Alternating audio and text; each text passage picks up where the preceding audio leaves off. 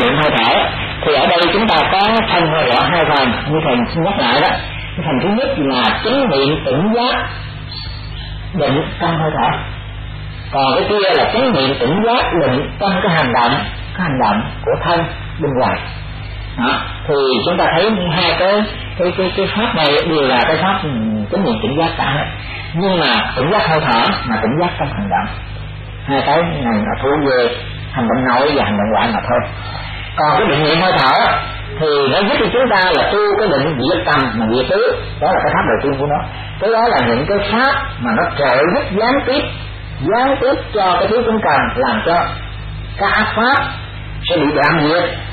Và nó giúp cho cái thân của chúng ta nó có những cái cảm giác làm cho chúng ta thấy an lạc, làm chúng ta thấy hân hoan, làm chúng ta thấy định tĩnh, làm chúng ta thấy giải thoát nó giúp cho chúng ta à, thực hiện trên con đường. Càng tu càng thấy những kết quả thích thú tham tu hơn. Đó là cái định niệm hơi thở mà nó chưa có áp dụng vào những cái à, cái định như tứ thiền à, hoặc là cái định khác nữa. Nó áp dụng tất cả mọi cái loại định. Thì cái định niệm hơi thở nó áp dụng cái người thậm chí như thánh giác tư nó cũng áp dụng vào cái định niệm thánh giác tư nữa. Nhưng ở đây vì chưa dạy tới thánh giác tư cho nên thầy không có giảng dạy nhưng ở đây bây giờ chúng ta sẽ thấy được cái kết quả của cái nhị hơi thở này. Nó giúp cho cái thân và tâm của chúng ta thanh tịnh. Thanh tịnh tức là nó không còn tham sân si nữa. Tức là thanh tịnh. Nó luôn vượt đi ác pháp cho nên nó thanh tịnh. Đây, ở đây đức phật khuyên chúng ta tu cái định niệm hơi thở. Cái định niệm hơi thở để cho nó đạt được cái sự thanh tịnh. Nếu mà chúng ta tu tập thì chúng ta sẽ đạt được cái kết quả thanh tịnh đó. Thì khi đi đến một khu rừng hay đi đến một gốc cây hay đi đến một căn nhà trống, ngồi trước nhà lưng thẳng, đặt niệm trước mặt, vị ấy chánh niệm thở vô chánh niệm thở ra. Thì như vậy là nãy giờ mà thầy đã đọc lại cái định niệm hơi thở, cái thứ tư á, thì bây giờ nó muốn cho cái thân và tâm và thọ của mình được thanh tịnh thân tâm thọ và các pháp được thanh tịnh. Tức là đối với này thanh tịnh á, thì chúng ta thường xuyên mà tu tập như thầy đã giảng hồi nãy thì nó sẽ như thế nào? Tu tập như vậy làm cho sung mãn. Làm cho sung mãn tức là làm cho đầy đủ đó. Như vậy, niệm hơi thở vô họ thở ra, sẽ có quả lớn thì có lợi ích rất lớn. Nghĩa là nó có cái quả lớn để chúng ta vì nó đem đến cho chúng ta luôn một trạng thái thanh tịnh, rất thanh tịnh. Đó, thì đó là cái thứ nhất. Và đồng thời, cái quả như thế nào? Ở đây Phật cũng có dạy như vậy là trước khi mà chúng ta đi tìm cái nơi yên tĩnh để chúng ta tu hành đó rồi chúng ta cũng quán bây giờ từ cái chỗ mà à, chúng ta quán mà ừ, cái hơi thở của chúng ta à, như bắt đầu cảm cảm giác toàn thân á à, cái bài thứ nhất mà hơi thở dài hơi thở ngắn thì đó là cái những vực tầng giữ trước nó không? Quan trọng rồi. Đến cái bài thứ hai thì chúng ta cảm từ cái chỗ mà cảm giác toàn thân á à, cho đến cái mà à, quá từ bỏ tham sân si với chúng ta đó từ bỏ đoạn diệt từ ly tham rồi đó thì cho đến cái chỗ quán từ bỏ đó. Thì cái phần này nó sẽ giúp cho chúng ta có được những cái quả à, cái quả cái quả lớn. Đúng không niệm hơi thở vô hơi thở ra sẽ được mà tu tập làm như vậy cái sinh mãn. Thì à, chúng ta sẽ đạt được đạt được cái gì? Đạt được hai quả ngay ở trong hiện tại thì chúng ta có sự chánh trí nó làm cho chúng ta sáng suốt lúc nào nó cũng có sự hiểu biết. Ai làm gì chúng ta cũng hiểu biết. Nếu người ta chửi mình mình cũng vẫn hiểu biết mình hiểu biết mà cái hiểu biết của cái chánh trí nó làm chúng ta không có giận giận với người đó mà ghét người đó. Nó đạt được cái chánh trí đó. À, nếu có à, cái cái quả thứ hai thì ngay đó là chúng ta có được một cái quả cái quả bất lai nghĩa là nó không có thể lưu lại với cái cái, cái đời sống phàm tục ở đây bây giờ thầy nói ví dụ này như mặt hạnh bây giờ à, đã tu tập ừ, như vậy khi bây giờ mặt hạnh có ra đời có thực hiện cái cuộc đời mặt hạnh cũng vẫn là một người tốt chứ không bao giờ mà có phạm những cái cái cái đại bạ cái tầm bậy như con người chưa tu nghĩa là không có ác pháp đối với nó nghĩa là ác pháp đấy nó nó vẫn có một cái cái chính trí, nó biết được liền. Cho nên ở đây nó có hai cái quả.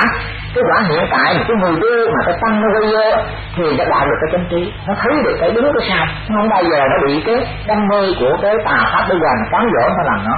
Nó sai nghĩa là nó không tiếp tục tư dài trên con đường tư hưởng nhưng mà nó vẫn có cái chính trí và nếu cái chính trí đó nó sẽ có cái quả cái quả đó là cái quả bất lai.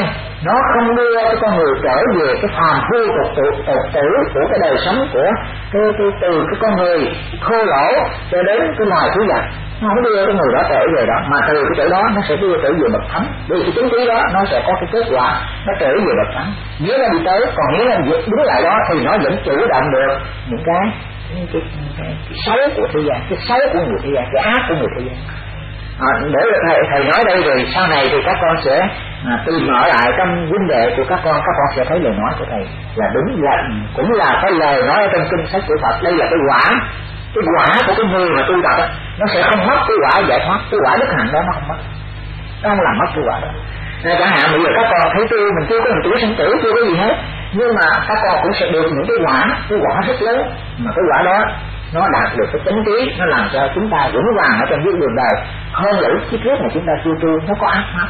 Mà ác pháp trong lúc đó chúng ta không biết nó là ác cho nên chúng ta cứ làm khi mà khỏi lời thì hay chứ còn chúng ta còn cái này khi mà chánh trí thì nó không có bị nó bị sai lệch nó không bị làm như cái người mà tục tử phàm phu hung dữ như cái kẻ à, như một con thú vật. Nó trở về cái con người thật sự. Cái nó còn một cái quả nữa.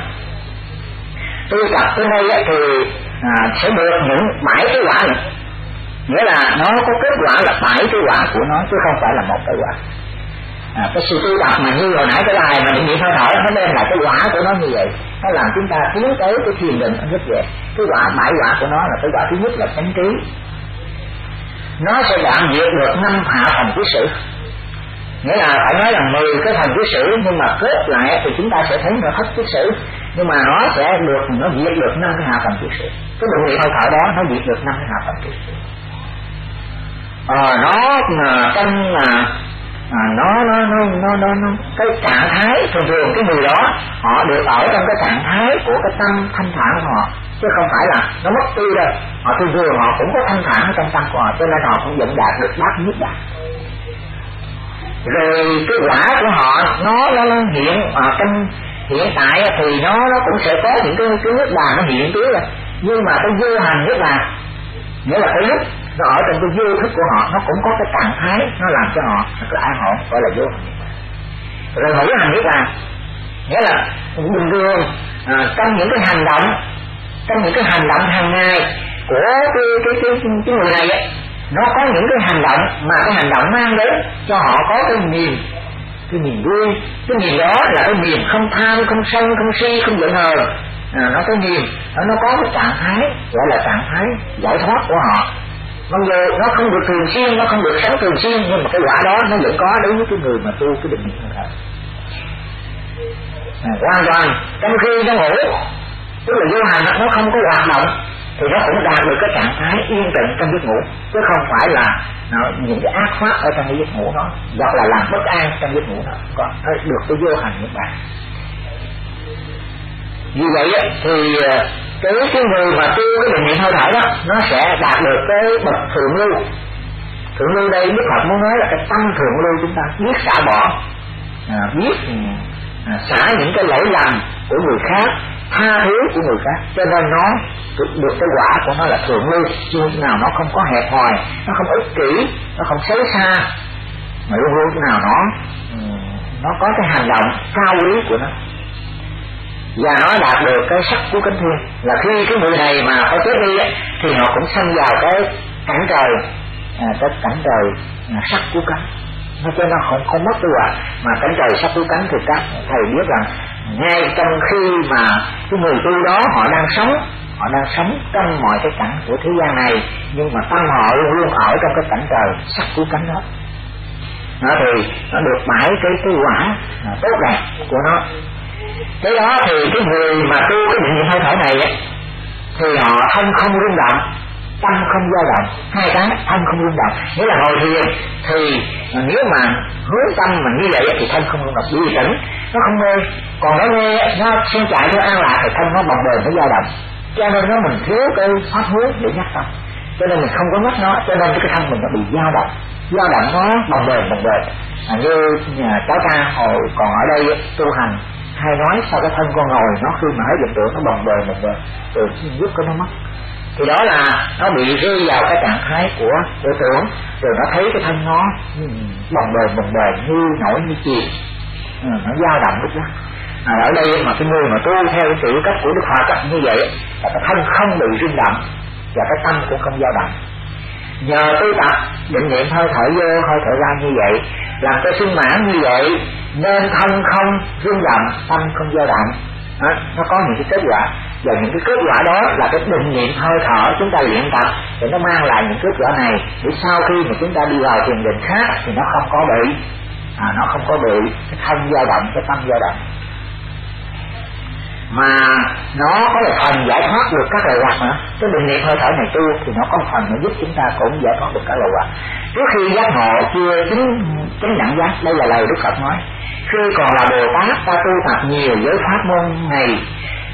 Do ta tu tập nhiều giới pháp môn này, thân ta và con mắt à, không có mỏi mệt, không có mỏi nhọc, và tâm ta giải thoát khỏi các loại hoạt không có chấp thủ nghĩa là các pháp này các kia đức phật không bị dính mắc không có khổ lực được dính mắc nó cho nên do nhờ cái tu tập này mà đức phật à, không có bị dính mắc. Mặc dù là cái tu với cái pháp của à, một cái vị thầy dạy cho mình tu cái à, vô không biên xứ à, cho đến cái định phi tưởng phi tưởng xứ. Nhưng mà tu được rồi thì đức phật cũng không dính mắc vào cái chấp thủ những cái pháp này. Cho nên nó có thoát ra khỏi một cái à, một số lậu hoặc rất là lớn. Thoát khỏi một số lậu hoặc lớn. Cho nên cái định niệm hơi thở nó có cái giá trị như vậy. Mà ngay từ đầu các con cũng như các thầy về đây thì bắt buộc phải tập ổn định hơi thở nè. Rồi tập à, làm cho có một cái tụ điểm để mà bám chặt cái hơi thở nè. Rồi luyện cái hơi thở dài chậm để được tạo thành cái tụ điểm. Mà từ luyện cái hơi thở bình thường à, mấy giây à, tu tập để cho nó À, để cho nó thuần thuộc ở trong hơi thở vì cái định niệm hơi thở nó có nhiều cái lợi ích như vậy. Và nó cũng là một cái pháp để mà chúng ta trợ duyên trợ duyên cho các pháp khác. Cũng như một cái người học pháp văn thì người ta bắt buộc mình phải học chia cái động từ alo hoặc s nó phải cho lào thuộc lào để là dùng nó mà chia các động từ khác cho nó dễ dàng thì ở đây thì các thầy cũng thấy là thầy đã nhào nặng với thầy à, các, các con phải luyện tập cái hơi thở.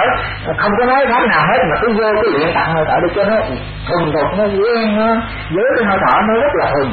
Do đó bây giờ mới áp dụng vào những cái khác thì nó mới dễ sau khi áp dụng vào cái khác thì vừa biết thở mà lại vừa nhắc cho mình về cái pháp đó để xả tâm. Nhưng bây giờ ví dụ như thức vô này tôi biết tâm tôi phải xả cái tâm tham này thở ra tôi biết tâm tôi xả tâm tham. Đó là mình cơ hội với định vô lậu cái gì? Nó mình biết mình biết như vậy. Bây giờ hết giờ tôi biết thân tôi không phải là ngã. Thở ra tôi biết thân tôi không phải là ngã. À, đó là mình cơ hội với định vô lậu gì để mình diệt ngã cái gì? Tất cả những cái này nếu mà mình chưa thuần thục hơi thở thì mình hít vô thì mình nói chưa có kịp mà mình thở ra thì mình cũng nói tôi có kịp còn mình thở vô mình đã quen rồi cho nên vì vậy mà mình thở vô của mình nói. Thì trong khi đó cái tâm mình hướng theo nó lại đặt thêm một cái định vô lậu nó câu hỏi với cái cái, cái, cái định vô lậu. Nó phá đi cái ngã nó phá đi cái cái, cái cách ngã của mình nó làm cho mình không còn tham sân si giận hờn nữa. Hay hoặc là bây giờ hít vô tôi biết ừ, tâm tôi như cục đất, thở ra tôi biết tâm tôi như cục đất. Khi mình hít vô mình cũng nói, nó nương vào hơi thở, nó rất tỉnh như thầy nói bây giờ, ví dụ như các con thấy nè, mình nương vào hơi thở mà mình tươi cái tiếng niệm tỉnh giác ừ, ở bên ngoài nữa ví dụ như mình vừa đi và mình vừa biết hơi thở, tức là mình câu hỏi giữa hai cái định tiếng niệm tỉnh giác của nội và tiếng niệm tỉnh giác của của à, của ngoại hai cái mình câu hỏi, thì mình thấy sao mình đi sao nó tỉnh quá, nó đi hai ba vòng mà nó không có tạp niệm thì đó là một câu hỏi giữa hai cái hơi thở và cái hành động đi của mình. Cũng như bây giờ mình vừa ghét mà mình có hiểu được cái hơi hơi thở của mình nữa mình biết cái hơi thở ra vô mà mình vừa ghét, nó làm cho mình rất tỉnh trong thời gian đó. Tức là gọi là nương hơi thở để mà biết rõ cái hành động đang ghét xanh ghét nhà cái thức tu tập nó như vậy đó, tức là câu hỏi cho nên cái định niệm hơi thở là nó để dùng để mình nhờ nó mình tu tập các định khác như vậy. đó cũng như bây giờ thầy nói bây giờ ví dụ như mình tu về à, tới à, sơ thiền nhị thiền tam thiền tứ thiền. Thì mình biết là cái nhị thiền là phải diệt tầng tứ. Mà cái sơ thiền phải lưu diệt cái pháp. Mà bây giờ mình chưa có lưu diệt cái pháp thì mình hít vô. À, bây giờ mình hít vô tôi hít vô tôi biết à, tâm tư ly dục cái giác pháp tại ra tôi biết tâm tư ly dục cái pháp. Mình nhắc tâm mình ly về cái pháp nhưng bây giờ nó chưa đi. Mà mình nhắc nó tức là ý của mình là muốn muốn cho nó ly dục cái giác pháp. Đó là một câu hổ với cái cái cái cái cái, cái, cái sơ thiền do thời mình nhắc như vậy? Giờ nhắc như vậy thì mình sống đúng cái giới hạn. Thì cái giới hạn nó giúp cho mình ly những cái dục là ly những cái pháp. Và mình tập tứ chân cần tứ chân cần nó làm cho mình ly cả áp pháp và do cái sự tu tập đó và do cái sự câu hữu này nữa, nó làm cho những cái này nó kết hợp, nó thành một cái đạo lực khi đó mình nhắc tăng như trục đất không có giận hợp việt nam thì do đó mà tăng như cục đất nó giận hợp thì nó sẽ đi dục. Như vậy mình nói tăng cái đi dục với pháp nó sẽ riêng ngày đó nó sẽ nhập đi. Nó sẽ ở chỗ cái trạng thái mà không có ham muốn, mà không có ác pháp. Cho nên mình câu hỏi như vậy thì mình nhắc ngay đó là nó vô sơ thiền liền thì bắt đầu bây giờ nó vô sơ thiền thì mình bị gì mình cứ hơi thở mình nhắc đó thì khi mình nhắc như vậy thì cái hơi thở ra vô này thì nó là cái cái đường để cho mình đi vào cái sơ thiền mà khi mà nó đi nó ác pháp rồi thì bắt đầu nó còn hơi thở thì hơi thở nó nó vô tư dục ừ, đi dục đó phát sinh nghĩ lạc nó sinh nghĩ lạc thì cái nghĩ lạc đó nó làm cho chúng ta không có thấy cái hơi thở của chúng ta đang thở ở chỗ cái ờ, cái sơ thiền vì vậy mà chúng ta còn thấy một cái trạng thái ly dục vậy. Đó là cái sơ thiền bây giờ nghĩ đi thì chúng ta nên nhắc à, à, cái tâm đó phải từng chỉ à, tầng tứ à, thì bắt đầu mình như vậy thì khi mà mình à, bảo cái tâm như hơi thở thì từng chỉ tầng tứ thì lúc bây giờ nó luôn hơi thở ra hơi thở như hàng ngày mình luôn cái hơi thở mình thở ra thở vô để cho mình giữ tầm giữ tứ. Như hồi nãy thầy nói tiêu diệt cái tầm mà giữ tứ đó. Cứ giờ tôi biết tôi biết chưa thở ra tôi biết tôi thở ra cứ giờ dài tôi biết tôi thở tôi biết chưa dài thở ra dài tôi biết tôi thở ra dài đó đó, đó là cái chỗ cái chỗ tư tập làm cho cái tâm của chúng ta nó nương dậy hơi thở mà nó diệt tầng tứ thì bây giờ mình nhắc nó thì ngay đó là nó đã diệt tầng tứ để nó nương dậy hơi thở rồi từ đó nó nhập vào cái nhị thiền nó được các, các, các con và các thầy thấy cái định niệm hơi thở nó có một giá trị rất cao là nó trợ giúp cho chúng ta đạt được những cái kết quả mà chúng ta mong muốn đó. thì đây là cái về cái phần mà định niệm hơi thở coi như là thầy dạy hôm nay là các con biết được từ căn bản à, sơ cơ cách thức tu tập về cái định niệm hơi thở chứ không phải là dạy sở thức tùy trước đâu nhưng mà trước kia là vì dạy theo các pháp môn của à, đại thừa của kinh sách của nguyên thủy của à, các pháp mà của các tổ dạy. À, thì thầy thấy từ cái pháp sở tức tùy thức thì nó cũng là do cái chỗ mà tu tập để làm cho tầng tứ tầng tứ nó diệt những tưởng nó hết. À, cho nên hướng dẫn mà các con nuôi vào cái chỗ mà sở thức à, chứ không hướng dẫn theo cái kinh sách của à, đạo Phật. Mà bây giờ thì chúng ta đã thành lập một cái giáo án đường lối của đạo Phật. Thì tất cả những cái gì mà của các tổ đặt ra nó không phải là của đạo Phật mà của các tổ thì chúng ta để qua một bên. Sau đó thì chúng ta sẽ có một bài kết hợp. À, cái gì mà làm cho lợi ích trên bước đường tu tập thì chúng ta lấy để mà à, nương theo đó mà hướng dẫn người tu. Mà cái gì mà nó không có lợi ích bằng cái pháp mà Phật dạy thì chúng ta nên bỏ nó. Ví dụ như bây giờ cái pháp sở tức nó là cái pháp ức chế tâm thì nó không bằng cái pháp mà chúng ta hướng tâm. À, về cái hơi thở do đó chúng ta thấy nó không kết quả vì nó ức chế tâm thì dễ rơi vào các trạng thái định tưởng vì nếu ức chế tâm thì ý cái ý thức của mình nó không được hoạt động thì cái tưởng thức nó hơi hoạt động. Còn cái này chúng ta ý thức nó vẫn còn hoạt động theo cái thách hướng cho nên nó không mất đi. Do đó chúng ta không có chữa tâm mà do vì vậy mà chúng ta hướng để mà xả tâm. Từ cái xả tâm nó hết vọng tưởng nó vượt tầm tứ bằng cách là nó lưu lưu cái tâm ra à. Bây giờ đến cái giai đoạn mà tu tập mà tứ niệm xứ rồi. Vậy thì à, tiếp tục ở trên cái bước đường mà tu tập tứ niệm xứ. Thì à, chúng ta đã bước qua một cái giai đoạn niệm thì tức là phải tứ định. Chỉ niệm ở đây thì ở đây nó có bốn chỗ để mà chúng ta niệm. Nhưng mà chỉ niệm tứ niệm xứ đây là bốn đặt cái bốn cái chỗ để đặt pháp. Chỉ niệm đây là pháp cho nên chúng ta đặt cái pháp ở trên cái chỗ đó, cái nơi đó để mà chúng ta tu tập cái nơi đó. Chúng ta tu làm sao cho đạt được cái chỗ đó. Cho nên khởi đầu tu tập thiền định á bởi vì ở đây ờ, đạo Phật, nói chung là hoàn toàn là thiền định. Không có một pháp nào là không thiền định. Nếu đầu vô chúng ta tu tập mà chứng niệm tỉnh thức thì cũng là thiền định.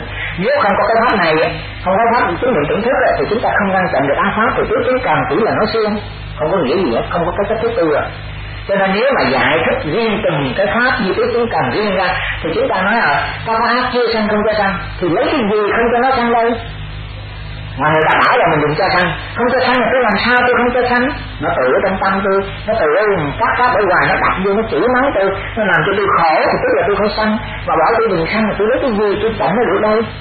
À, cho nên vì vậy nếu mà chúng ta lấy riêng nội cái pháp tứ chúng cần mà tư thì chắc chắn là chúng ta không biết rồi cho nên hầu hết là các à, thầy mà giảng dạy các phần hòa thượng mà giảng dạy về cái chúng cần nó độc lập riêng nó ra thì coi như là các thầy đó không biết mà không biết pháp tu cho nên nói tiếp cái cần cái sự thật ra chúng ta đang tu những cái thiền định tính niệm tỉnh giác định định niệm hơi thở định vô lậu ngay trên đó chúng ta mới ngăn chặn được các pháp ác và không cho các pháp ác tăng trưởng nó thì nó phải có cái pháp để mà chúng ta tu tập. Bây giờ chúng ta đã hiểu được như vậy, thì cho nên tất cả các pháp của Phật đều gọi là thiền định hết. Không có pháp nào là thiền định. Chúng ta có cái quan niệm, cái quan niệm sai lầm. Là hãy khi nào mà nói thiền định là phải coi tôi ngồi viết già rồi ngồi đó hít thở mà niệm phật nó gọi là thiền định. Hãy thấy ai ngồi thì gọi là thiền định, còn cái người mà đi với họ không cho thiền định. Mà ngay cả khi mà chúng ta đi kinh thành mà chúng ta quyết tâm, nó nó là chứng nguyện tỉnh giấc định với người ta mà cái định ra trong cái hành động đi với người ta mà. Trong khi người ta quét sang, người ta lặt rau, người ta nấu cơm, người ta làm mọi công việc, thì người ta trôi ở trong cái định cái nguyện cái tâm của người ta đang giữ cái tính niệm đó, cái niệm tin chánh đó để ở trong cái tỉnh thức đó. Thế là mình không cho người ta định. Thì tôi bảo là mình phải ngồi cái vào thật à đốt tự nhiên lên à rồi mới ngồi kéo chân lên đó, rồi ngồi hít thở nữa. Và trong khi hít thở đó, chắc gì mà cái tâm của người hít thở đó là nó đang yên tĩnh, nó không có giận tưởng đâu nó nghĩ đàn bậy đàn bạ nó ham nó ngồi đây mà nó nghe người ta rồi biết mà chiên xào gì đó bắt đầu cái cái nhớ ngồi nó ngồi đó mà nó chảy ra. Nó nhớ ra cái đầu tiên rồi. Sao thì thử hỏi như vậy là lúc đó nó thiền hay là lúc đó nó thèm? ăn à, cho nên khi mà ngồi thiền như vậy thì thử hỏi khi mà người ta đi tinh thành người ta có ngủ không? Còn mình ngồi á ngủ lúc nghe nó ăn cái thân nó lặng lặng cái đó là ngủ xuống cái rồi thì cái đó là thiền gì? Thiền gốc cái thiền gì? Bởi vì người ta nhập trước thiền thì cái anh này lại nhập ngủ thiền anh ngủ ở đóng thành ra anh không nhập ngủ thiền chứ sao? Anh hơi phạt vào cái chỗ nhập ngủ thiền cho nên cái hồi nó không có phải là cái chỗ thiền. Nhiều khi nó lại sai lệch đi, nó chưa chưa đúng. Nhưng cái hồi cũng là một cái chỗ thiền. Rất là tự đúng. Còn bây giờ mình tu mình cứ gục lên một xíu thì cái đó là thiên vị hoặc ngồi đó mà loạn tưởng nhớ cái này, nhớ cái kia thì cái đó là thiên vị nó không phải thiền. Còn bây giờ người ta đi như vậy, mình cho người ta không tu thiền thì cái đó là à tôi ở vô chùa ông bỏ tụng kinh, cái đó là phật nữa. Cái đó là chỉ lộn lên phật, cái tư cái gì? Lâu lâu ông thầy cũng là kinh ông ngồi mà xi măng ngồi đó, mình cứ dưới tên nam mô là phật, tức là tử ẩn cái gì, kêu tên ông tử ẩn nếu mà ông không bằng xi măng hay tất cả ông cũng chịu nổi quân chương sướng ông cũng gầy dữ. Xong rồi cứ kêu tên ra hoài. Bây giờ thử hỏi đi, mình ngồi đây mà ai kêu tên, mình có tức không? Cứ nhớ cái tên mình hoài đúng không? Còn bây giờ ông ngồi cái ngồi đó ví dụ ông phật đi đà chứ nam mô già phật, nam mô già phật. Ông tức mình tao cái tên ông cứ loạn đó là những cái sai. Không có đúng đâu. Cho nên ở đây cái thực hiện là làm sao cho thanh thọ tâm pháp của mình nó được thanh tịnh, nó không bị ác pháp, nó làm cho được giải thoát nơi đó. Thì cái đó là phải đúng. Cho nên ở đây thì phải nhớ rằng tất cả những pháp của phật đều là thiền định. Khởi đầu tôi đạt thiền định là bắt đầu từ định tứ cũ định tứ cũ, tức là tứ chúng ta cái thầy thấy rất rõ, bởi vì cái pháp này là pháp đầu tiên để mà chúng ta thực hiện thiền định. Mà định tứ cũ thì nó đã xác định cho chúng ta được ba cái định ở trên cái chỗ tu tập đó rồi.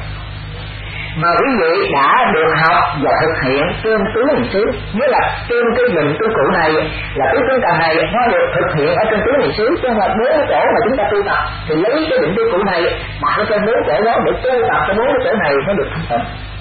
Tức là không thọ không hóa cho chúng ta cho nên tứ niệm xứ là bốn lĩnh vực được quý vị thực hiện các cái loại thiền định, trên đó gồm có 16 loại định. Nghĩa đạo Phật đâu có nói là cái thứ thiền định đâu, mà 16 cái loại định, mà lấy bốn cái chỗ thân thọ tâm pháp, mà gọi cái tên chung của nó là tứ niệm xứ lấy cái bốn cái lĩnh vực này để chúng ta thực hiện 16 cái loại định ở trên đó để làm cho bốn cái chỗ này nó sạch sẽ, nó thanh tịnh, nó không còn ô nhiễm, nó không còn ác pháp nữa. Bốn cái chỗ này giải thoát là chúng ta giải thoát. Chứ không phải là chúng ta cho cái vấn đề ngoài ví dụ như bây giờ mình niệm nam mô a đà phật để cầu cho mình được giảng sanh cực lạc thì cái đó là vấn người hoài rồi. Mà ngay cái thân này không có gọt rửa cho sạch sẽ thì thử hỏi làm sao mà cho nó nó, nó hết giận hết thôi ngay cái tâm này mà không có gọt cho nó sạch sẽ thì nó buồn phiền nó lo lắng nó sợ hãi nó thương nó ghét nó giận nó hờn nó đủ thứ. Cho nên thân thọ tâm pháp là bố chỗ để mà chúng ta tu tập làm cho nó không giận hờn phiền não không đau khổ nữa như cái thân của chúng ta này bị cái thọ nó làm cho cái thân chúng ta cái đau nhất cái chân này nhất cái đau này. Mà chúng ta không tu ở trên cái này để khi mà cái thọ nó có đánh vào cái thân thì chúng ta không thấy đau đớn thì cái đó là cái cụ thể để giải thoát được cái bệnh cái cái thân của chúng ta. Còn cái này chúng ta tu những người ngoài ví dụ niệm phật nó có nhằn nhò dễ trên thân này đâu. Cầu dẫn sanh cực lạc thì nó có ăn nuôi mà bây giờ mình giữ mặt tánh, thì mặt tánh nó có nhằn nhò dễ trên cái thân này đâu à, và tánh những vô hình này kia tôi tiến tánh thành phật rồi. Anh gì mà phải tôi cái thân này đâu? Do đó thì cuối cùng thì mình không giải thoát cái thân tâm của mình. Mà nghe trên cái này cái thân tâm mình đang khổ này mà không có tu tập. Còn ở đây chúng ta nghe ở trên bốn chữ đó gọi là tứ niệm xứ. Trên bốn chữ đó để mình tu tập. Tu tập làm cái bốn chữ đó nó không còn đau khổ nó không còn chết chết nó không còn sinh tử. Luân hồi thì nghe với chữ này là bốn cái chỗ mà chúng ta cần phải lấy các pháp cần phải rèn luyện cần phải ừ, làm cho nó sạch sẽ, làm cho nó không còn đau khổ nữa. Bốn cái chỗ này không có đau khổ nữa, thì chúng ta gọi là giải thoát. Dù thế, bốn lĩnh vực này rất quan trọng. Một con người, ai cũng có bốn cái chỗ này. Như nào chúng ta cũng thấy là thanh thọ, tăng pháp. Phải không? Trong thanh người người nào cũng có bốn cái này hết. Không có người nào là không có. Ai cũng có. Nhưng đối với người chơi tư đặt còn phàm phu thì bốn chỗ này là bốn chỗ ô nhiễm bất tận nghĩa là tâm tham ăn thân này ăn này rồi tâm tham muốn cái này cái nọ kia, ô những thứ đủ thứ hết. Mà nó bất tịnh, nó đủ cách hết. Cho nên thân thọ tâm pháp của cái người phàm phu thì nó là bất tịnh. Nhưng mà đối với cái người mà tu tập thì cái thân thọ tâm pháp của họ làm được, nó mới thanh tịnh. Bốn cái này thường sanh khởi, vì nó bất tịnh đó mà nó đem đến cho chúng ta nhiều cái đau khổ. Nhiều cái đau khổ. Cho nên nói bốn cái này thường sanh khởi, mọi thứ đau khổ của kiếp người nghĩa là nơi thân nè. Nếu mà thân không bệnh thì chúng ta mới khổ nè, mà thân có bệnh chúng ta mới khổ. Khổ. Mà tâm chúng ta không bị ai chửi nè. Mà cứ bị ai chửi chúng ta thấy có khổ không? Rồi à, tâm của chúng ta không à. Nó nó không có bình thường nó không gì hết mà nó khổ nó thương nó nhớ hoặc là cha mẹ nó bệnh đau chết nó khóc lóc bù bù la bù lê. Thì thử hỏi nó có nó có khổ không? Đó. Rõ ràng là nơi với cái chỗ này nó thường sanh khởi những cái niệm đau khổ của kiếp người thì à, chúng ta cứ biết được bốn cái chỗ đó như vậy đó thì nó là địa ngục hay thiên đàng cũng đâu bốn chỗ này mà thôi. Cho nên bốn chỗ này mà không lìa xa ác pháp thì ngay đó là địa ngục cho tiếp ngục nghĩa là ác pháp là cái tâm cõi như mình sân là ác pháp như mình tham là ác pháp như mình ngu si là ác pháp mình tham ăn tham ngủ là ác pháp đó. À, cho nên nếu mà mình không lìa cái ác pháp này thì ngay đó là địa ngục của cái kiếp mình đó. Vô lúc nào mình cũng còn. còn nếu bốn chỗ này á bốn chỗ này thân thọ tâm pháp này mà chúng ta lìa xa ác pháp á thì nơi đó là nước bàn chứ đâu cần đi tìm nước bạn chúng ta. Nơi bốn chỗ này mà chúng ta lìa được ác pháp thì nơi đó là nước bạn. À, chắc chắn ai cũng biết được cái cảnh giới nước bàn dễ dàng lắm cụ thể lắm. Nó rõ ràng không có ác pháp thì đó là nước bạn mà có ác pháp thì nó là địa ngục nó là đau khổ. Tất cả các pháp môn của Phật đều lấy bốn chỗ này thực hiện nghĩa là cho nên luôn luôn pháp nào của Phật cũng ở trên bốn chỗ này để mà thực hiện. Cho nên tu tập sao dồi rèn luyện hay dứt bỏ đều ở trên cái chỗ này. Bây giờ ví dụ như cái thân chúng ta này, viên thuốc này, viên cà phê này à, viên thuốc phiện này à, viên rượu này. Thì ở chỗ cái thân viên này nè, nó không có, nó muốn uống rượu này, nó muốn hút thuốc nè nó muốn uống cà phê nè nó thèm nó khát này thì do đó chúng ta phải nỗ lực.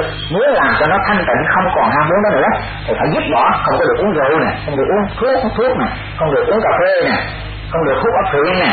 Thì như vậy mình tự dứt bỏ mình, chứ không ai dứt bỏ cho mình được. Bởi vì cái này là do nhân quả mình đã tạo ra, mình thành thói quen thành nghiệp, thì mình phải chịu bỏ, chịu lấy, chứ còn ai mà làm giúp cho mình được. Cho nên ở đây thì ngay từ ở trên cái chỗ thanh thọ tâm pháp này mà mình dứt bỏ, mình rèn luyện, mình cao dời thì nó sẽ trở thành một tiền pháp nó làm cho mình được giải thoát. Chứ không phải hoài thế. Chỗ này mình đi cầu hẳn mình tu tập cái gì để cho nó à, giải thoát được thì không bao giờ có được. Mà phải ngay trên bốn chỗ này. Mà bốn chỗ này gọi là tứ niệm xứ. Cho nên chúng ta học tứ niệm xứ chúng ta phải hiểu được rằng cái chỗ này. Chứ nếu mà học tứ niệm xứ mà không rành thì chúng ta coi như là cái pháp tứ niệm xứ cho nên người ta nói tứ niệm xứ là cái tinh thiền định. Con phải đặt cái tên này đúng không? Các thầy thấy có đặt cái tên đó là có đúng bởi vì nó là cái tiên thiền định mà thật sự ra ở đây là mình làm cho nó thanh tịnh chứ nó là cái tiên cái thứ gì? Mà bao nhiêu thứ định mà nó đặt lên đây để mà tiên nói cái đâu phải là nó là cái cái cái cái cái cái cái, cái nhịp tiên của chúng ta để mà chúng ta thực hiện cái cái thiền định của cái niệm xứ này đó. Nếu mà nói như vậy thì tứ niệm xứ là một cái loại thiền định để là chúng ta để thực hiện các cái loại thiền định cao thì cao chi của nó nó là cái nước nó là cái tim mà cái nhịp tim cái nhịp máu của chúng ta mà. Nhưng mà nói như vậy không có nghĩa đúng. Bởi vì bố cái chỗ này là bố cái ô nhiễm của một con người phàm phu của tôi. Chúng ta muốn giải quyết cho nó thoát khỏi bố cái ô nhiễm này để cho nơi thanh tịnh thì chúng ta dùng các pháp thiền định khác mà đem về đây để mà rèn luyện nó. Cũng như bây giờ phải ví dụ về cho đấy như cái nhà mình ở đây nè, cất lên bằng bằng dân cất tre nó xấu quá nó không có đẹp đẽ. Cho nên từ đó mình mua những cái mình bằng nhĩ lông mình trang trí cho những cái cửa sổ cửa cái để làm hoặc là mua vài cái đèn như cái này để treo lên để làm cho nó nó, nó, nó đẹp thêm cho nó cho nó coi nó được một chút ví dụ như vậy. Thì cái kia mình cũng phải đem những cái pháp khác để mà gõ cửa để mà làm cho nó sạch ví dụ cái nhà mình bây giờ nó dơ thì bắt đầu mình phải đem nước mình rửa cho nó sạch. Chứ cái đại nhà dơ rồi mình lấy cái nhà dơ này làm cho nó nữa thì nó dơ nữa sao? Cho nên ở đây mình biết cái, cái nơi này nó đang bị bụi bặm dơ bẩn nó ô nhiễm.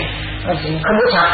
Cho nên mình mới lấy cái bàn chải nè mình mới lấy thùng nước nè mình mới lấy xà bông nè mình mới lấy thuốc tẩy nè. Mình đem đi đây nè mình mới tạt nước mình rửa mình cọ cái chỗ này cho nó sạch. Cái cái này đang bị cọ rửa sạch mà gọi nó là thiền định thì thầy thấy đó là thiền định gì? Có hiểu vậy thì mới biết được cái chỗ tu tập của chúng ta. Chứ thân thọ tâm hóa của chúng ta nó đang ô nhiễm nè, nó đang tham mê nè, nó đang giận hờn nó đang phiền não nè. Mà bây giờ nó đang nó đang nghĩ như vậy á, thì chúng ta phải lấy nè, định niệm à, định niệm hơi thở nè. À, chúng ta lại phải lấy định chứng niệm tỉnh giác nè. Chúng ta lại phải lấy là định tứ chúng cần nè. À, chúng ta phải lấy định vô lậu nè. Chúng ta lại phải lấy sơ thiền nhị thiền tam thiền tứ thiền nè. À, chúng ta mới à, đem nó để mà rửa nó làm cho nó sạch ra được. Nhờ các thiền định này mà làm cho nó sạch thì như vậy cũng như là các thiền định này nó cũng như là cục xà bông nè nó bằng trái nè nó bằng trà nè. À, chúng ta chỉ còn có ra công mà trà cái nền này cho nó làm cho sạch giấc này chúng ta trà rửa cho nó sạch. Thì như vậy rõ ràng là cái niệm xứ này nó có phải khác chúng ta để tu đâu. Mà nó nơi để mà chúng ta trừ rửa cho nó sạch bởi vì nó đang nhơ bẩn nó đang ô nhiễm. Ta đúng không? Thầy nói đây quý thầy cứ suy ngẫm có phải không? Không của quý thầy. Hiện bây giờ nếu mà nói là tôi không ô nhiễm thì tức là thanh tịnh rồi mà thanh tịnh rồi thì cái thân của thầy ấy, nó đâu có còn mà bẩn thỉu như thế này. Tức là nó đâu còn bất tỉnh à, cho nên do vì vậy mình mới xét cái thân mình nó còn bẩn thỉu lắm nó còn bất tỉnh lắm. Cho nên mình phải còn gọt rửa mà còn gọt rửa tức là còn tươi cho nên phải lấy cái pháp mà để gọt rửa nó mà cái pháp còn gọt rửa nó thì tức là từ. Cho nên ở đây không thể nói là tứ niệm xứ là pháp môn được. Mà tứ niệm xứ là bố chỗ để chúng ta dùng các pháp môn khác để tu tập trên nó cho nên thầy mới nói tứ niệm xứ, nó sẽ xác định được các loại thiền ở trên đó.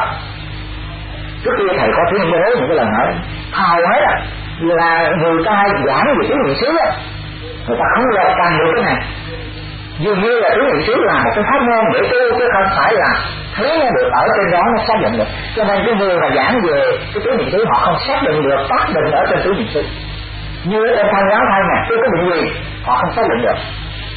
Mà họ xác định được thì họ mới biết là cái thanh này nó đang rơi lẫn cái này nè. Nó đang nhiễm ô cái này nè. Thì bắt đầu mình phải đem cái bệnh này tức là cái bàn chải nè cái cục ừ, xà bông nè. Đem đến là rửa nó rửa cái cái cái, cái, cái chỗ đó cho nó sạch thì nếu mà đem cái bàn chải cái cục xà bông à, rồi đem nước đến mà rửa đó thì cái đó nó gọi là cái tên gì?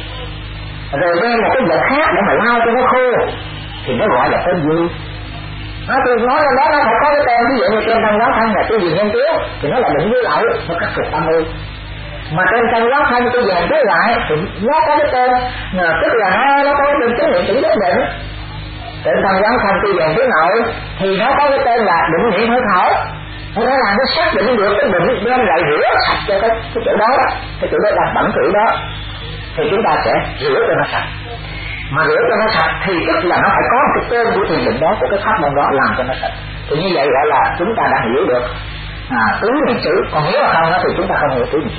Bởi vì hầu hết là từ xưa đến giờ đó các thầy quý là thượng họ thuyết giảng từ tư nam tông cho đến bắc tông mà thuyết giảng về tứ niệm xứ thì họ đều thấy tứ niệm xứ là cái pháp môn, chứ không phải là cái tứ niệm xứ là bốn cái chỗ để chúng ta đem các pháp khác đến tu tập.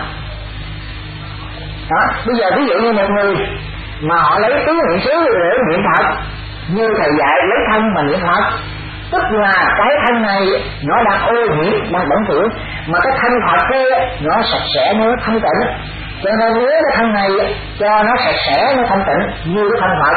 Thì như vậy gọi là lấy thân niệm phật. Lấy cái thân này niệm cái thân phật. Làm cái thân này nó giống như cái thân phật.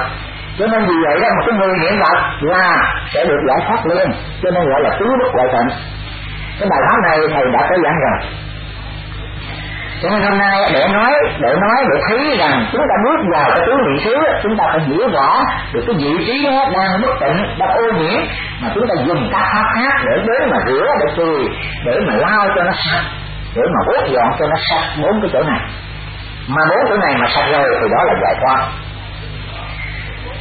Cho nên ở đây chúng ta thấy rất rõ, nếu bốn chỗ này mà lìa xa ác pháp như trong cái bài tứ tướng cần thì ngay đó à, nếu mà chúng ta không bị ác pháp thì ngay đó là địa ngục.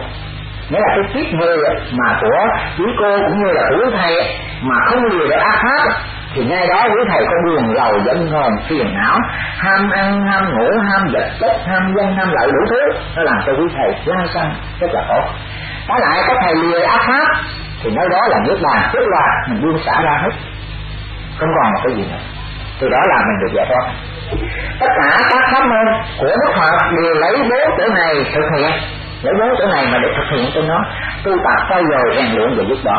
Bằng mọi cách làm sao bốn chỗ này xa lìa ác pháp và đoạn dứt tận gốc rễ của ác pháp khiến cho bốn chỗ này được hoàn thiện khi bốn chỗ này đã được toàn thiện thì đạo Phật gọi là thanh tịnh gọi là giải thoát gọi là nhất bàn. Đó, toàn thiện là nghĩa là không còn một chút nào ác ở trong đó hết không còn một chút xíu nào ác trong đó dù là một chút xíu như là à, một cái cái cái cái đầu cộng tóc của chúng ta nó không còn một chút xíu nhỏ như vậy nữa. Thì hay hoặc là như một hạt bụi rất nhỏ nó không còn có trong đó thì gọi là toàn thiện mà toàn thiện á thì nó là thanh tịnh nó là giải thoát nó là nước đạt nghĩa là nếu chỗ đó phải đạt được cái chỗ mà toàn thiện thì đạo Phật đâu có khó gì đâu chúng ta thấy đâu khó gì. Mà chính cái chỗ này nó là thiền định bởi vì người có theo đạo Phật mà không biết rõ bốn lĩnh vực này, tư hoài bốn lĩnh vực này thì dù có tu ngàn kiếp, cũng chẳng chấm dứt khổ đau và sinh tử luân hồi. Nghĩa là mình tư hoài bốn chỗ này, cho nên cái người mà xem nó là cái pháp môn để tư thì cái họ họ lấy cái túi xíu này tư có chỗ nào? Để họ được giải thoát. Họ chỉ lý luận à ơi quậy quán như thế này, thế khác, gọi là minh sắc tuệ cái gì? Thì sao ta đâu có phải cái điều đó đâu cho nên tất cả những cái thiền mà gọi là minh sắc thể rồi à, thiền này thiền nọ đều là mặt ngoài cái vấn đề của thanh tòa thân pháp của chúng ta. Mà khi họ có đặt tính như vậy ở trên đó họ tu mà họ không có được xác định được cái vị trí họ tu cái gì nữa thì họ tu vậy rồi. À bây giờ ví dụ như, như thiền tâm họ đặt họ lấy cái tâm của họ là giết nhận liền luôn này họ lấy cái tâm họ là giữ cái tâm họ là không có vọng tưởng này thì ngay đó là họ cũng lấy cái tâm họ tư nhưng mà họ không xác định được đến vị trí họ đang tu. Họ chỉ tu cái tâm họ thì họ có đạt được cái tâm. Họ giải thoát còn cái thân họ bỏ cho nên họ nói bây giờ ví dụ như các pháp, đến với họ họ thấy toàn là quyển giả. Đối với trí tuệ của họ, bất ngã thì họ thấy là không. Không có chuyện gì mà hiện hữu, không có chuyện gì mà, nó thường hằng cho nên họ thấy là vô thường cái như cái phần họ đứng ở trên góc độ của tâm họ quét sạch cái tâm họ. Chứ còn cái thân với cái thọ của họ đâu quét sạch. Cho nên cái đau của họ họ cũng lên la như thường, họ đâu có làm chủ được. Rồi cái thân họ bây giờ bảo nhưng thọ họ cũng không làm được nữa. Chứ như vậy họ biết tôi có cái phần tâm mà họ bố cái chỗ tôi chứ lại họ cũng dạy bố chỗ tứ gì chứ. Mà họ đo họ tôi cái nhất chứ. Nghĩa là họ lấy Phật tánh họ bây giờ, chẳng hiện chuyện gì hết thì ở trong tâm của mình chẳng hiện chuyện gì hết thì họ tôi có một phần đó thôi, mà họ làm chủ là sẽ toàn diện được cái không vào tâm pháp của họ cho nên cái mà họ hiểu sai là vì họ đứng ở trên một cái góc độ của ông hòa ông pháp họ kêu có một cái mà họ tưởng họ giải thoát toàn diện mang tới được. Người ta tu trên bốn cái này mà người ta còn chưa có giải thoát toàn diện chưa có có có thoát ra khỏi huống hồ là tu có một cái, cái nhỏ có cũng một cái cái bốn cái này. Nếu là trong bốn chỗ chúng ta tu có một cái mà thôi thì làm sao mà chúng ta thoát ra được? Ở đây phải rõ trên bốn lĩnh vực này nếu đặt sai pháp cũng tu không thành tựu nữa nghĩa là nếu cái chỗ này là chúng ta đặt không đúng pháp nghĩa là bây giờ bốn chỗ này, đầu tiên chúng ta phải đặt pháp gì trước chúng ta. Nghĩa là chúng ta phải dứt ác, mà tăng thiện tăng thiện. Thì nó mới có sự đạt bởi vì hiện bây giờ thanh thọ thanh pháp, chúng ta đang ở trong hai pháp chứ đâu phải là thiện pháp. Nếu là thiện pháp sao người ta chửi mình giận? Nếu thiện pháp thì nó đâu có giận ai đâu. Còn đây mình dễ giận, dễ hờn mà nếu thiện pháp thì cái thân này người ta đến đó giờ mình biết đau nếu thiện thì nó đâu có đau. Còn cái này nó không thiện cho nên nó đau đó. Cái như vậy mình nói là các pháp điều thiện vậy thì à, vậy thì người ta ở ngoài người ta chửi mình tại sao nó thiện mà mình lại giận? Thì nó phải là ác pháp cho nên nó chưa có thiện. Vì vậy đó cho nên giờ mình phải tu để cho các pháp với cái tầm mắt của mình với cái lỗ tai nghe của mình với cái ý mình tiếp xúc với cái pháp đó. Hoàn toàn người ta chửi mình mà mình vẫn cứ thiện. Cho nên ông à, ông Anna ông Udalu ông Phú Long Na ông Phú Long Na đức Phật hỏi người ta chửi nó không à, thì ông nghĩ như thế nào thì ông nói người ta chửi mắng con thì người ta còn thương con người ta chưa có à, người ta chưa có lấy gậy gọc người ta đánh con thì ông hỏi à, người ta lấy gậy gọc người ta đánh ông thì ông nghĩ như thế nào thì ông nói người ta đánh ông thì người ta còn thương ông người ta chưa có lấy vương ra giết ông thì ông Phật nói nếu người ta lấy vương ra người ta cắt cổ ông người ta đâm ông cho anh chết đi, thì anh thấy như thế nào? Như vậy người ta cũng còn thương anh, cho nên người ta mới giết cái thân này để cho anh được giải thoát, thì người ta giết thương ông cho nên đức phật nói được, anh đi ra xứ đến để người ta tức là đức phật lại phát hiện được cái người đệ tử của mình xứ đáng là người đi đi đội chúng sanh còn mình á, chưa có được người ta chưa ờ, nói cái gì đó mình giận chưa có đánh mình đâu chứ phải đánh mình nó cầu mình giỏi nãy lên nó cầu mình à, nằm đó mình đòi mạng để thương mạng của người ta nữa. À, cho nên do những cái chuyện đó vì vậy mà chúng ta phải thấy rằng cái chỗ thân thọ tâm pháp chúng ta phải thực hiện sao nó tổ bỏ được những cái này thì chính là những cái pháp Phật đã đặt ra để chúng ta tu tập ở trên bốn chuyện này mà cái người đời người ta ừ, cái người đi hiện giờ họ chưa biết bốn chữ này. Họ cứ ngỡ rằng cứ mình xíu là cái pháp này. Cho nên hầu hết thầy đọc lại các kinh sách mà của người ta triển khai những cái pháp cứ mình xíu này. Hầu hết đó là cái pháp tu của họ, chứ không phải là bốn cái mức định để mà chúng ta thực hiện cái pháp này cho nên 16 cái lại định của Phật thì chúng ta nên áp dụng ở trên bốn chữ này hết. Không có cái định nào mà chúng ta không có tu tập ở trên này.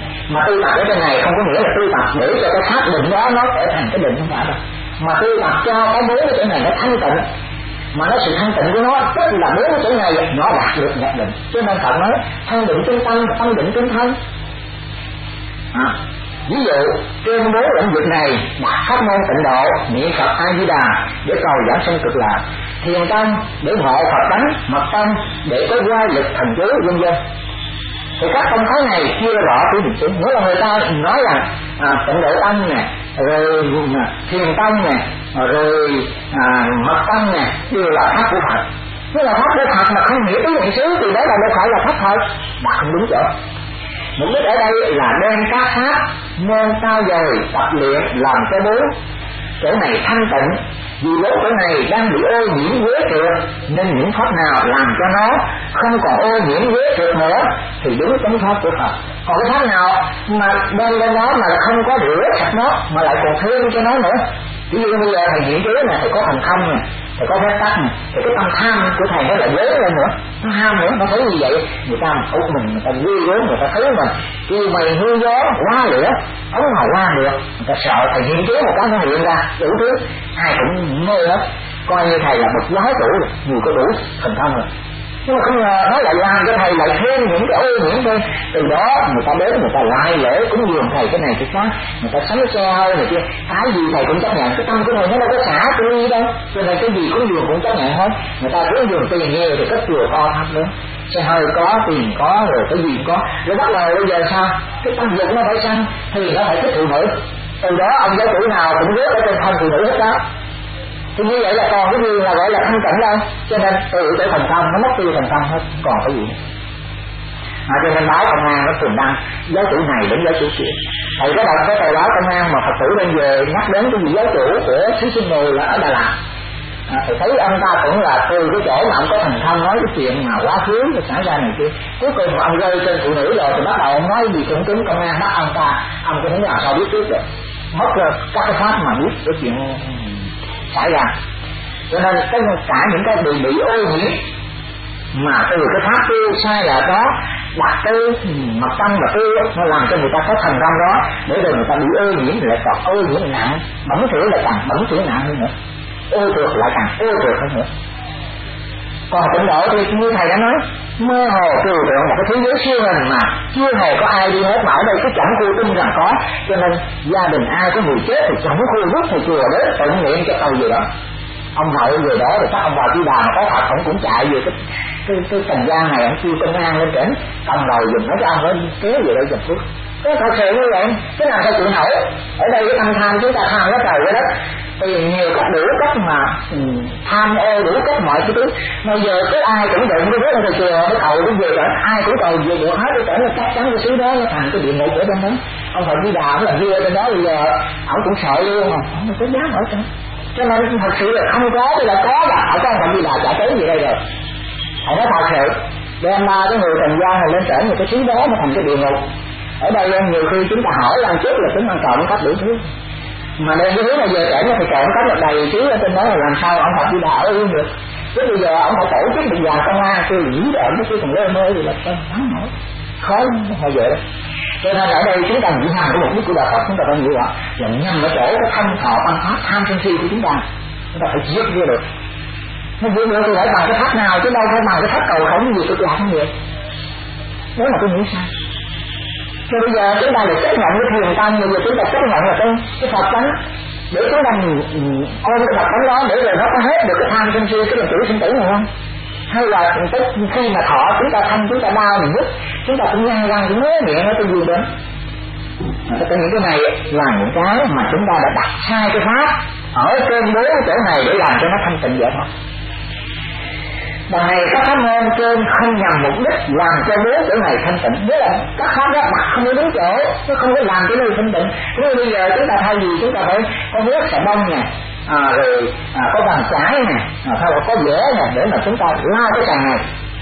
À, Trái lại chúng ta lấy thảo chúng ta tải thêm ở trên này nữa Thì cái nước bẩn như này nó tạt thêm bẩn chúng ta có làm cái gì?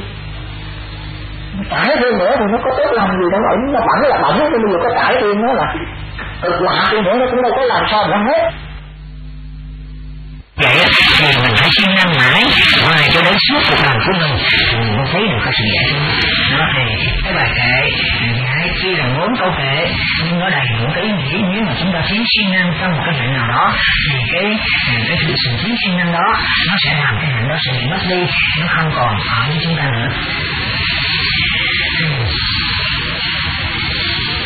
À, À, đến bài kệ này nữa. Thì à, người dạy từ bỏ bát quý giá bằng vàng bằng nhựa quý ta lấy bát bằng đất. À, ở đây quán đẳng thứ hai nghĩa là